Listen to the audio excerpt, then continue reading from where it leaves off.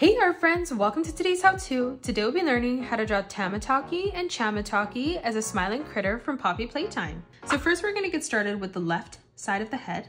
And we're gonna start with a curved line from left to right for the eye. Let's leave a gap in the middle and we're gonna replicate this over on the left. From the corner now on the inside, we're gonna arch this line up, back down on the right. And then moving over towards the left-hand side, let's replicate that in the middle, we're going to draw in a small oval. And then moving over on the left-hand side, let's replicate that. For the nostrils, we're going to draw in a curved line that arches in towards the center. For the mouth now, in the corner, we're gonna curve this line down, and then we'll do the same thing over on the left-hand side. For the top of the mouth now, we're going to curve this line around and then up on the right. And then we're gonna draw a nice big arch line on the bottom, connecting that together. For the tongue now in the center, we're gonna curve this line up and then down. And then to the left of this, we're gonna curve that down again. Let's draw the cheeks now. So to the right of this, we're gonna curve this line around and then in towards the middle. And then coming down on a diagonal, we're gonna replicate that over on the left-hand side. Let's close off the top of the head now. So on the left-hand side, we're gonna arch this line up and then down on the right. And then for the eyebrows, we're just gonna draw in a curved line on both sides. Now for the top of the hat, we're gonna curve this line around and then down. And then for the back of the hat here, we're gonna curve this line around and then in towards the cheek. Now let's move over on the right hand side and we're going to draw on the right head.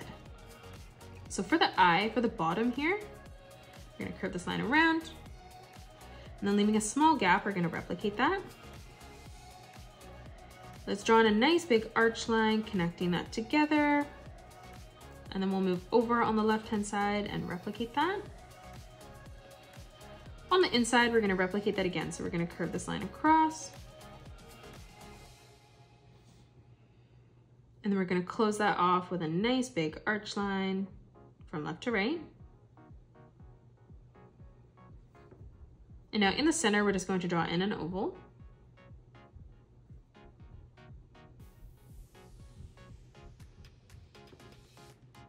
Now let's draw in the mouth. So on both sides, we're going to draw in a curved line arching down, and we're gonna make the one on the top left-hand side bigger. From the top here, let's curve this line around and then in towards the middle. And then from the center, we're gonna curve that up and over on the right. Let's move down now for the tongue. We're gonna curve this up and then in. To the right of that, we're gonna arch this line around and then up. And then from that corner, we're just gonna curve this line around and then down for the bottom of the tongue. And now closing off the bottom of the mouth, we're just gonna curve this line in towards the side and then back up and over on the right. For the cheek on the right hand side, let's curve this line around and then in. And then moving up on a diagonal, we're gonna replicate that over on the left. Now for the top of the head, we're gonna arch this line up and then in. To the left of this, we're gonna curve this line up. On the top, we're gonna continue to extend this line over and out. And then from that corner, we're just gonna curve this line down towards the cheek. Now from here for the hat, we're gonna arch this line around and then in. And then on the top, we're just gonna curve this line around and then down. For the eyebrows now, we're gonna curve this line up and then down and then do the same thing over on the right. And now let's draw in the body.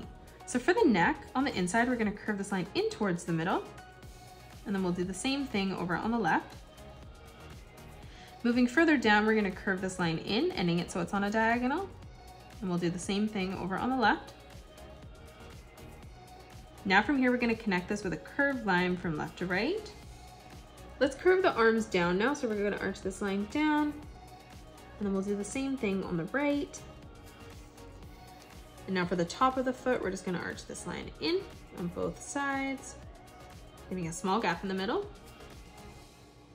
On the right hand side, we're gonna arch this line down.